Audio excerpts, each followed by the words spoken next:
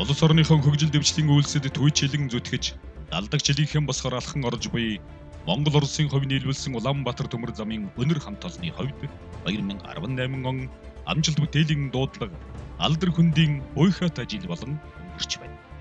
Монгол Улсын засгийн газар Монголын үндэсний худалдаа аж үйлдвэрийн танхим хамтран жил бүр шалгаруулдаг улс орныхон нийгэм эдийн засгийн хөгжилд жинтэй хувь нэмэр оруулж байгаа шилдэг 100 аж ахуйн нэгжийн 14 дэрэн бэлэгдсэн манай байгууллагын тодон 2018 оны 12 дугаар сарын 20-ны байдал тулгуурласан бүлэг дэжиг үйлстэглэлээр 19 сая 427 мянган тонн ачаа ачиж төлөвлөгөөг 107.3%,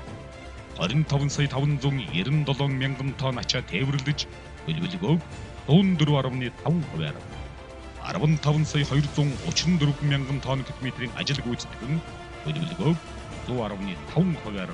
тус тус биелүүлснээр өнгөрсөн оныхон ачаалтыг 11.8%, ачаа тээвэрлэлтийг 12.4%,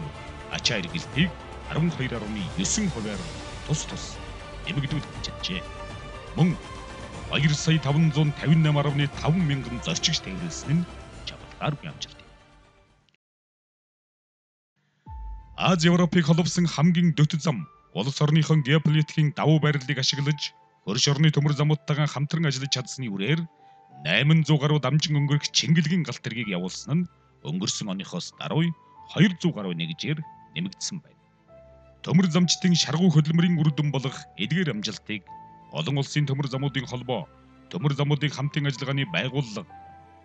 Европын төмөр зам дэд бүтцийн компаниудын холбоо зэрэг нэр хүнд бүхий 10 шахам олон улсын байгууллага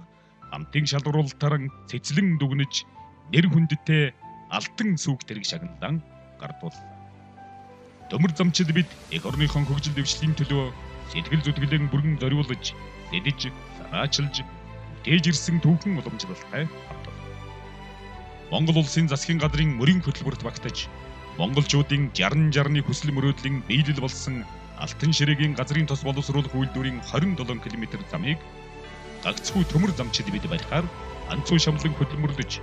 улс орооных нь ажлыг энэ ондон багтаан дуусгахаар чарбайж байна. Гол шугамын тех нэвтрүүлэх хүчин чадлыг дээшлүүлэхийн тулд Япон улсын M1 бэхэлгээтэй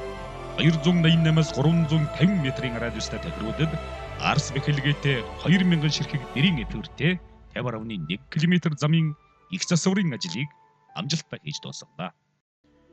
Зүүн хараадаг хачооны вагон засварын депогийн өргөдгөлийн эхний шатны ажлыг дуусган ашиглалтанд хүлээж авснаар засварлах хүчин чадал нь одоогийнхоос 50%-аар нэмэгдэж жилдийн 3900-аас 4200 вагоныг шин технологи аргачлалаар засварлах зорилт хэрэгжих боломж байна.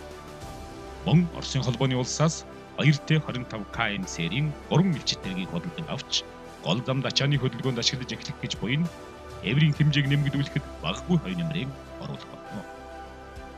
Мэдээллийн технологийн ололт амжилтыг эврийн процесс хөдөлгөөний аюулгүй байдлыг бүрэн хангахад бүтээлчээр ашиглах өндөр зорилт хэрэгжин интернетээр галт тэрэгний таслбар худалдаалах ажлыг эрчимжүүлж, веб хуудсыг шинжилэн ашиглахад ялбар боллоо. Ачаа тээврийн үйлчилгээг цахимжуулах, бүртгэл тооцооны програм хангамжийг шинжлэх зорилт амжилттай хэрэгжиж буй дээр улс хоорондын тээврийн цахим мэдээлэл солилцооны хүрээ нэмэгдэж оролцох улс орнуудын тоо улам бүр өргөжж байна. Оросын холбооны улсын нийслэл Москва хотноо зохион байгуулагдсан Транс Раша, Транс Логистик, тээвэр логистикийн үйлчилгээ технологийн олон улсын үзэсгэлэнд манай төмөр замын тээвэр тээвэр зүүчийн байгууллагууд анх удаа оролцсны дээр мөн үеэр Транзит Монгол 2018 форумыг амжилттай зохион байгууллаа.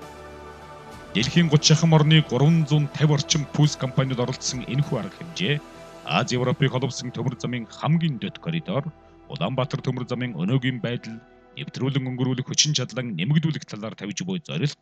хөрч буй үр дүн бэлтгэн харуулж чадлаа. Замын захиргаа төмөр замчдын ая тухтай ажиллаж амьдрах бололцоо нөхцөлийг бүрдүүлэх талаарч уламжил ёсорон ихэнх анхаарч ирлээ. Өнгөрч буй онд олон овоо өртөнд 42 айлын орон сууцыг барьж ашиглалтанд оруулсны дэрэгцээ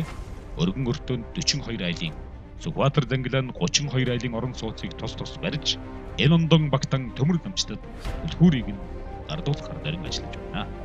Төмөр замчдын нийгмийн хамгааллын зорилтод 45 тэрбум төгрөгийн зардлыг санхүүжүүлж 24.6 тэрбум төгрөгийн нөхөн олгорыг гаргаж байгаа нь Өнөөгийн энэ амаргүй цаг үед бахархах үйлсийн нэг өнөөс дээ. Инхүү 2018 он төмөр замчид бидний хувьд амжилт ололтон баттадхан алдар хөндийг хүлээсэн алтаар үнэлэгдмүйц цаг хугацаа болон бэлдэж байна. ISO 2019 онд үүсэн байгуулагдсныхаа төвд 70 жилийн ог тэмдэглэг өг шастарт мөнхөрсөн цай торгоны зам төмөн олны зүтгэлээр мөнхөжсөн хатан болд зам улс Монгол орныхон дэвшил хөгжлийн ган бат зам Улаанбаатар төмөр замын маань үйлс өрнүн байна. Та бүхэндээ шилжин ирж буй шинэ оны гал хадун мэндийг хүргэж